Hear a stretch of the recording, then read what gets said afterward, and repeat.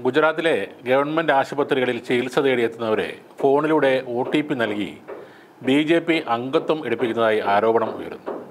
അവിടെ എത്തുന്ന രോഗികളുടെ അറിവോട് കൂടി അല്ലാതെയാണ് ഈ അംഗത്വം എടുപ്പിക്കൽ നടക്കുന്നത്.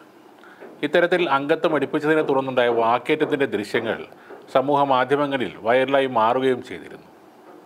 മെഹ്സാനയിലെ വിസ്നഗർ സിവിൽ ആശുപത്രിയിലാണ് ഈ സംഭവം നടന്നത്.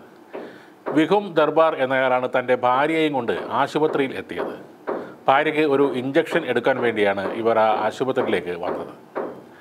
കുത്തിവെപ്പ് എടുക്കാൻ ചെന്നപ്പോൾ ഫോണിൽ വന്ന ഒ ടി പി നൽകാൻ ആശുപത്രി ജീവനക്കാരൻ ആവശ്യപ്പെട്ടു. കുത്തിവെപ്പിന് ഒ ടി പി വേണമെന്നാണ് ഇയാൾ പറഞ്ഞത്.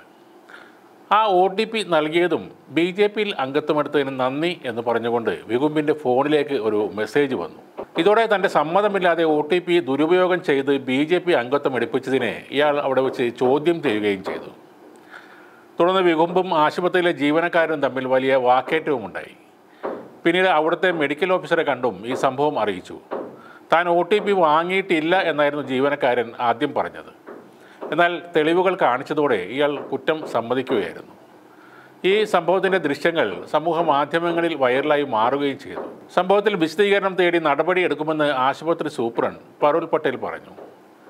ബി ജെ പി രാജ്യവ്യാപകമായി പ്രാഥമിക അംഗത്വ ക്യാമ്പയിൻ നടപ്പാക്കുന്നതിനിടെയാണ് ഈ സംഭവം ഉണ്ടായിരിക്കുന്നത്. നേരത്തെ ഗുജറാത്തിലെ ഭാവ്നഗറിൽ ബി ജെ പി നേതാവ് അംഗത്വമെടുക്കുന്നതിന് പണം വാഗ്ദാനം ചെയ്യുന്ന ഒരു വീഡിയോയും രംഗത്ത് വന്നിരുന്നു. കേരളത്തിൽ കഴിഞ്ഞ ആഴ്ചയാണ് പ്രശസ്ത സംഗീത സംവിധായകൻ മോഹൻ സിത്താര ബി ജെ പിയിൽ അംഗത്വമെടുത്ത വാർത്ത വലിയ പ്രാധാന്യത്തോടെ മാധ്യമങ്ങളിൽ വന്നത്. എന്നാൽ ഇപ്പോൾ മോഹൻ സിത്താര തന്നെ പറയുന്നത് താൻ അറിഞ്ഞുകൊണ്ടല്ല ബി ജെ പിയിൽ അംഗത്വം എടുത്തത് എന്നാണ്. തന്റെ അടുത്ത സുഹൃത്തുക്കൾ പറഞ്ഞപ്പോൾ അവരെ പിണക്കേണ്ടെന്ന് കരുതി വരാൻ പറഞ്ഞു. പിന്നീട് അത് മാധ്യമങ്ങളിൽ വാർത്തയായി വന്നപ്പോഴാണ് അറിയുന്നത് താൻ ബി ജെ പിയിൽ അംഗമായി എന്ന കാര്യം.